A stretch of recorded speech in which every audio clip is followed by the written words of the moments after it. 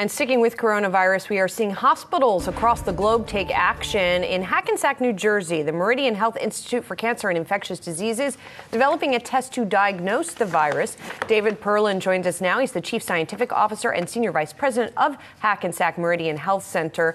So, David, there are some tests out there, but I know there are sort of different versions of different tests, and there's supply concerns about the tests that are out there. So, uh, what are you all doing?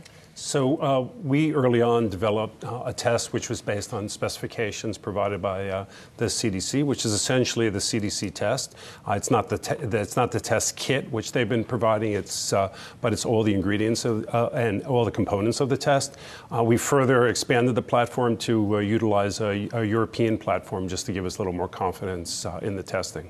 So, how accurate is your test, and are people, you know, when will it be used widespread? Well, we've we've validated it with uh, reagents that we have in hand. The one thing we haven't done is validated it with, with live virus, which is, in, in my view, the, the gold standard. But according to the FDA uh, guidelines that were just recently issued, uh, our tests uh, should be valid, and we're confident that it, it, it detects uh, virus at at a very low level.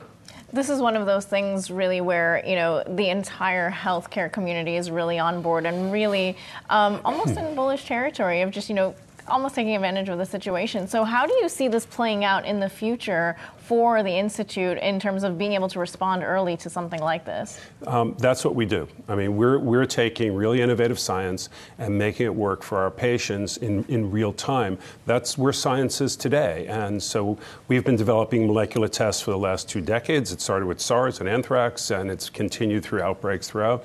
And we can do this routinely, but we're not the only laboratory. I mean, there are many academic laboratories, hospital laboratories that can do this quickly. Look, I think the issue is we have to collapse the gap from when you identify a patient to when you can tell uh, the healthcare professionals and the patient what you're dealing with. Uh, you know, you just brought up a big issue because because of what's happened out west, there seems to be this six-week period of where people could have this and not know they have it, in which there could be transmission. So what you just said, how quickly? Because New York State only has 75,000 tests available. Right. How quickly could your test potentially be available on a wide-scale basis? So um, we're making our, our test available for our healthcare network that includes uh, 17 hospitals.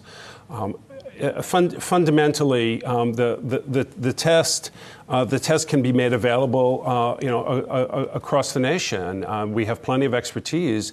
Uh, it's just a question of uh, having these tests, validating them, not necessarily relying on the test kits per se, but using all the components. It's it's like the difference between a cake mix and the individual components of the cake. I mean, you get to the same place, and that's what we can do.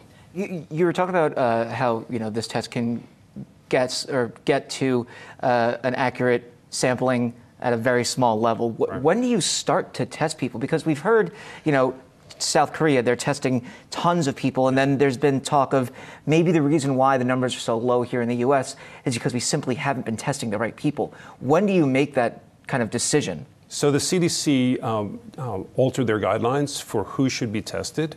Now, essentially, uh, any patient that, that presents with clinical symptoms, uh, essentially with uh, um, a lower uh, acute respiratory distress, and there's no other etiology, meaning that they don't have flu, they don't have a bacterial or other type of infection, they're a potential candidate to be tested. That's that's a change. So that expands the uh, the number of people who will be tested, and, and, and that's what you're seeing now now. What it doesn't address is the people who are asymptomatic and are potential carriers. That's a completely different um, situation. So, drawing on your experience with some of those other epidemics that you talked about, um, mm-hmm. SARS, for example, and drawing on what we have seen in China and the spread of this, what do you think the trajectory looks like in the United States? How many infections do you think we could have, and how quickly? Yeah, I wish I could tell you that. I mean, I hope it's it's limited to what we have now.